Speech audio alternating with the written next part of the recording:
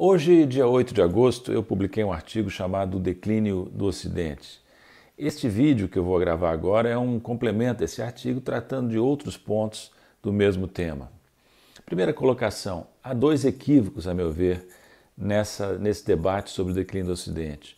Um equívoco é de pensar que nós estamos diante de uma debacle das potências tradicionais, Estados Unidos, Europa, e que rapidamente haverá um declínio acentuado desse país em termos econômicos, políticos, etc.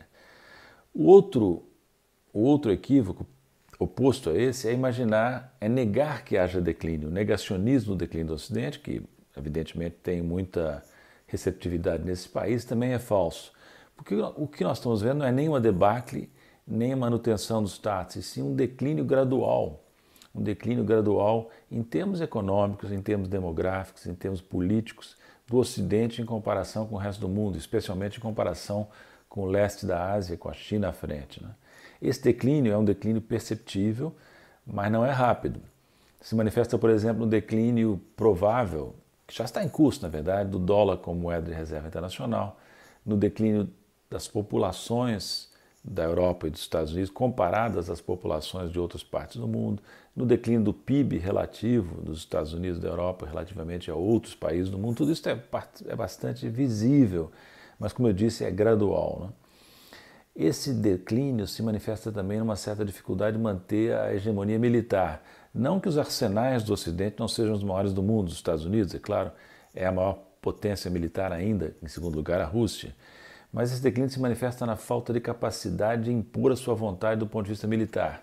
Vejam o fiasco recente no Afeganistão, o outro fiasco na Ucrânia, onde lutando uma guerra por procuração, os Estados Unidos, o Ocidente estão não estão levando a melhor, ao contrário, estão levando a pior no confronto com a Rússia. E Taiwan? Taiwan é outro terreno onde os, onde os americanos podem querer criar confusão fazendo provocações como essa recente visita da Nancy Pelosi, presidente da Câmara dos Deputados, a Taiwan. O que querem os americanos?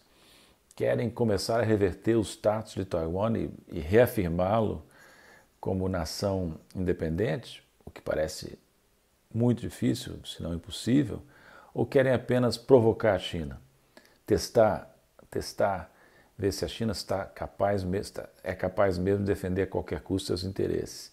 Esses testes essas provocações, essas inclinações americanas não são positivas, a meu ver, nem para os Estados Unidos, nem para o resto do mundo. Os americanos e europeus, idealmente, teriam que se conformar com o fato de que o mundo é crescentemente multipolar e que o declínio relativo dos Estados Unidos e da Europa não significa que eles terão necessariamente um declínio em termos absolutos. Continuarão a ser, a ser países superdesenvolvidos, super privilegiados, mas tem que se acostumar, a meu ver, com a realidade de um mundo que será, inevitavelmente, multipolar e crescentemente multipolar. Eu tratei desses temas no artigo que eu mencionei no início e ali eles serão melhor explorados para quem tiver interesse.